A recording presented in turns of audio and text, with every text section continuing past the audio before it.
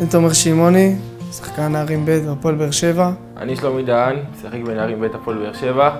באותו זמן, ב-7 לאוקטובר, אני הייתי בבית. ב-6 בבוקר, 6 וחצי, ואז שמענו על הכל על אה, בן דוד שלי, בן, בן שמעוני. היה במסיבה אז, היה לו בפעם הראשונה שהוא הציל ארבעה אנשים, חזר לשם, עוד הפעם לקח כמה אנשים, חזר לבאר שבע נראה לי, ואז הוא חזר, ואז כאילו... תמיד, הוא תמיד שם אותו אחרון ואת כולם ראשונים, תמיד ככה, כי זה בן. הודיעו לי שבן דוד שלי בגזרה שם ברצועה.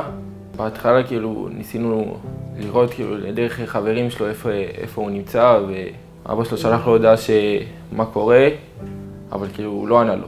הגדירו אותו כחלל חטוף. שקד, אה, מאז שהיה קטן היינו ביחד, אבא שלו היה בריחה בגבעת אבני. כל הילדות גדלנו שם והיינו איתו ביחד. הוא היה שחקן כדורגל, אז כשהגיע הצבא הוא רצה לי ללכת לקרבי, התגייס לשריון. בהתחלה היה, היה קשה לעכל. גם עכשיו, קשה לעכל את כל המצב, אבל עדיין זה, אתה יודע, עם הכדורגל והכל, הכדורגל בסופו של דבר עוזר. היה פעמים שהייתי מרגיש לא בנוח וכאילו חושב על זה. הייתי הולך, הייתי הולך לשחק כדורגל עם עצמי.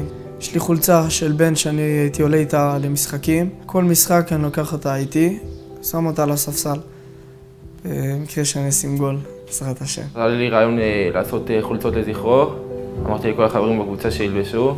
היה לי חשוב לעלות עם החולצות כדי להנציח אותו בכל דרך אפשרית ולהראות לכולם שזה לא נגמר ויש עוד דרך לעשות כדי להחזיר אותם.